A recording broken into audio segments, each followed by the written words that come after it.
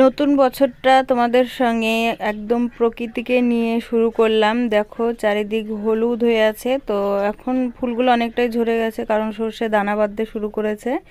আর সবুজ আর হলুদের মিশ্রণ একটা খুব সুন্দর, দেখো। হাই ফ্রেন্ড, সবাইকে নতুন বছরের অনেক অনেক শুভেচ্ছা, অনেক অনেক ভালোবাসা। আর তোমাদের সবাইকে আমার মিনতি মনিকা পরিবারে অনেক অনেক স্বাগত। আর এখন বিকেলবেলা সকাল থেকে ক্যামেরার সামনে আসতে পারিনি আমি। আর সারাদিন কি করেছি সেগুলোও ঠিকঠাকভাবে শেয়ার করতে পারিনি।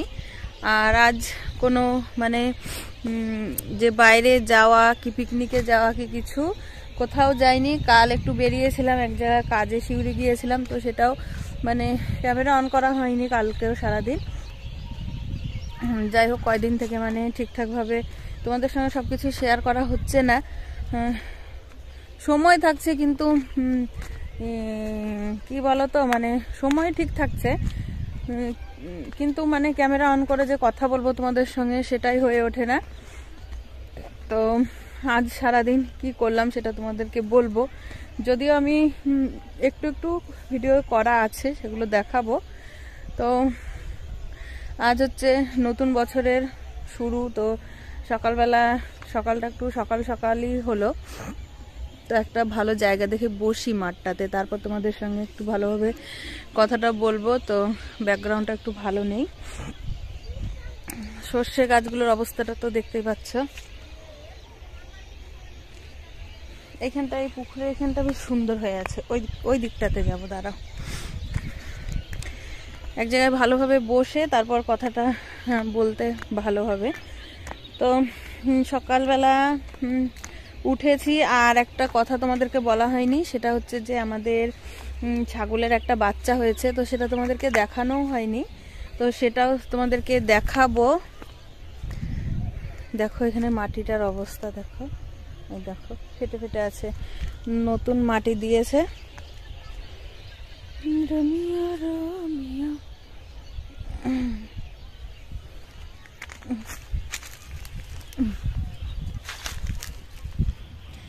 তো মানে সকালবেলায় উঠে সব কাজটা সেরে তোমাদের দাদা বাজার গেল। তো ছেলেরা মানে পিকনিক করে প্রতি বছরই একটু তোল তো এইবার আর কোথাও পিকনিক মানে এই মাঠগুলো দিয়েই সবাই করে, এগুলো দিয়ে আমাদের ওই পাশের মাঠটা দিয়ে। তো এবার আর কেউ করেনি একটু তোল একটু হিলা করে? তো তার জন্য এবার তোমাদের দাদা জিজ্ঞাসা করল যে ওরা যাবে নাকি। তো বড় যাবে বলেছিল, তো ও পিকনিক করেনি ওর বন্ধুদের সঙ্গে। তো তার জন্য বাড়িতে এবার আমি পোলট্রি খাই না, আর এখান থেকে খাসির মাংস আনতে গেলে পর অনেকটা দূরেই, তার জন্য বললাম একটা মোরগ নিয়ে আসো। আর বিরিয়ানির প্ল্যান ছিল, তো নবান্ন থেকে মানে পুজোর আগে থেকে মানে মোরগ এনে খাওয়াবে খাওয়াবে করে খাওয়া হয়নি। তো মায়েদের বাড়িতে যখন গেলাম মানে আমার বাপের বাড়ি, তখন তো খেয়েছি, আর মোরগের বিরিয়ানিও করেছিলাম। আর সেখানে ভাইয়ের কাছে শিখেও এসেছিলাম। আর আমি মোটামুটি অনেকটা জিনিসই এনে রেখেছিলাম বাড়িতে। তারপর মোরগটা নিয়ে এসেছিল আর যা যা লাগে বিরিয়ানি, মশলা টশলা আর আমি মগজদানা ওগুলো সব এনে রেখেছিলাম। আর ছেলে গিয়ে তারপরে আরও যেসব লাগে কেওড়া জল, গোলাপ জল ওগুলো নিয়ে এসেছিল। তো আমি মোরগটা মোরগটার আর বিরিয়ানির যেটা ম্যারিনেট করা ছিল সেটা একটু করা আছে, তোমাদেরকে দেখাচ্ছি। আর বিরিয়ানিটা করে মানে যে তোমাদের সঙ্গে দেখাবো, সে মানে খুলে ওপেনিংটা বা কিছু, সেটার আর সময় হয়নি, এত তাড়াতাড়ি হয়েছিল। তো তোমরা একটু মোরগটা আর ম্যারিনেট করা, ওইটা একটু একটু দেখে নাও। তো দেখো, সকাল সকাল মোরগ চলে এসছে। তো মোরগটা যথেষ্ট ভারী ছিল মানে ওজন প্রায় দু কিলোর কাছাকাছি। আর আমাদের গ্রামে মোরগ খুব যে দাম হয় তা না, মোটামুটি সাধ্যের মধ্যেই। আর আমি ভেবেছিলাম মোরগে শুধু পা দুটো বাঁধা আছে আর ডানাগুলো বাঁধা নাই। তো দেখছি যে না পাটার সঙ্গে সঙ্গে ডানাটাও বাঁধা আছে। মানে মা যেভাবে ডবল সিকিউরিটি করে রেখেছিল, সেই একই রকমভাবে আছে। তো কোনো সমস্যা নাই। আর এদিকে শেষ দি দেখো মানে ভালোভাবে দেখা যাচ্ছে না বলে শেষ দি বলছে আমার কাছে নিয়ে আয়। আমি ভালো করে একে মোরগের মতন করে দাঁড় করাচ্ছি একদম, সাহেবি মোরগের মতন। তো দেখো শেষ দিকে কেমনভাবে ধরে আছে, আর ও একবার কিচ্ছু জানে না মনে হচ্ছে, দেখো।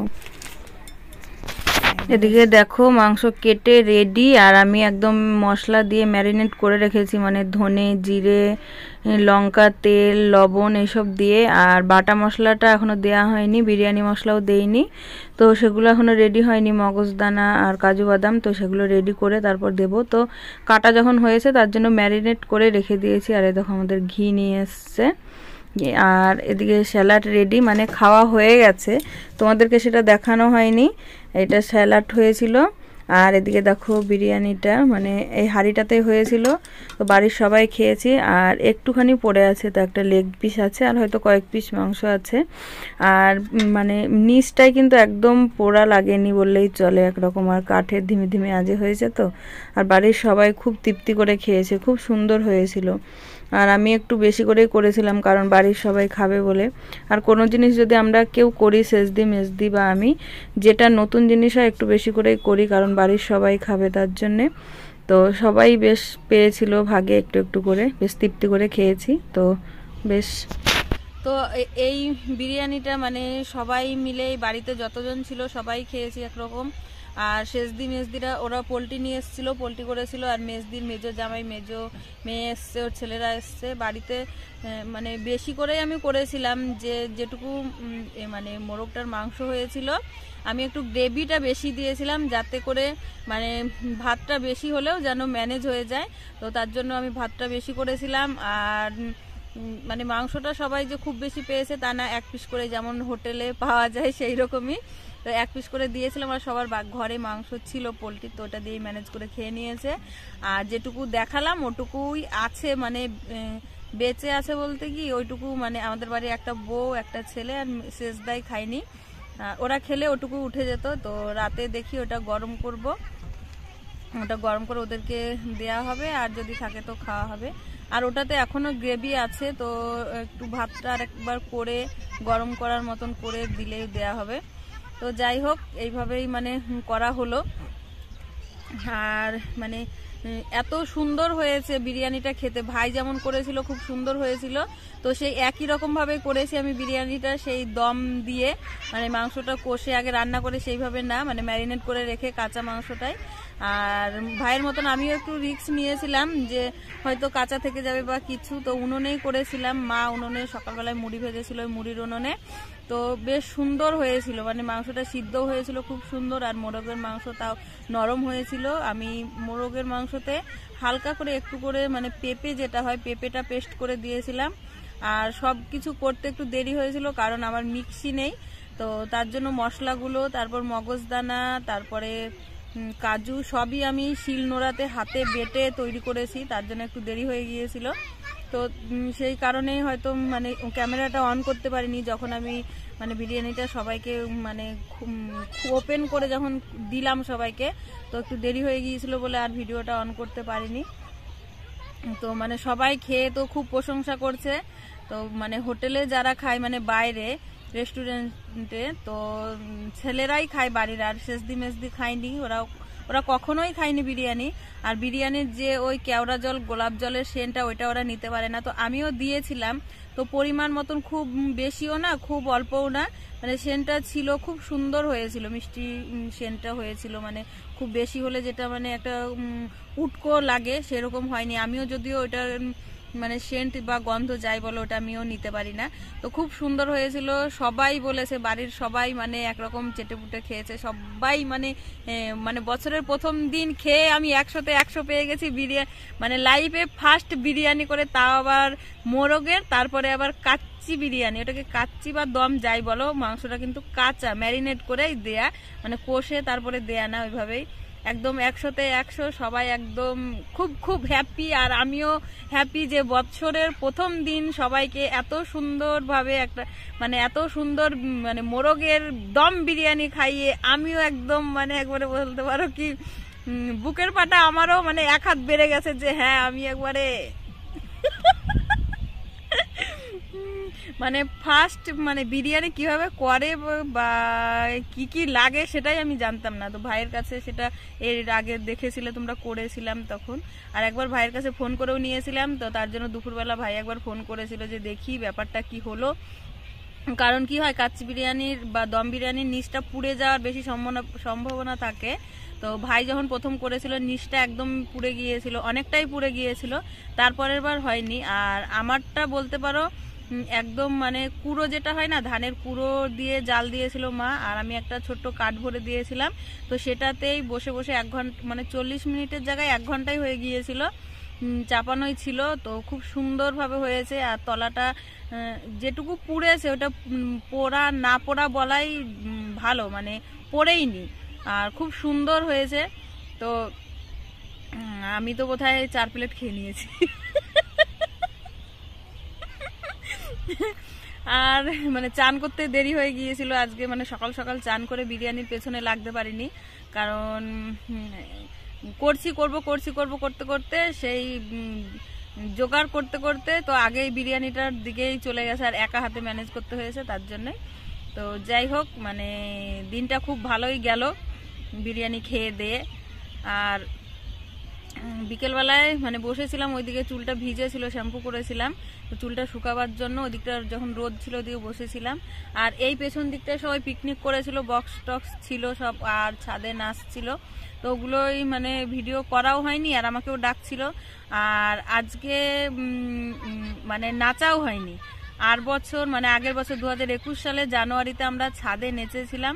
সেই নাচটা একজনা মানে ক্যামেরা করে মানে হোয়াটসঅ্যাপে দিয়ে দিয়েছিল আর ফেসবুকে মানে সেটা আমাদের এখানকার যত লোক বম্বে মানে বিদেশেও তারা মানে খাটতে যায়, তো সেখানকার সবাই আর কি ওই ভিডিওটা পেয়ে এর ফোন থেকে ওর ফোন এর ফোন থেকে ওর ফোন ভাইরাল যেমন বল- বলতে পারো এরকম হয়ে গিয়েছিল, তো আমরা জানিই না, তো ওইখান থেকে ফোনে সব বাড়ির লোককে বলছে, তো তারপরে তারা ফোনে পাঠাতে পাঠাতে তারপর দেখছি যে হ্যাঁ মানে ওই ফার্স্ট আমাদের হচ্ছে আমার জীবনে মানে ভিডিও সবার কাছে যাওয়া মানে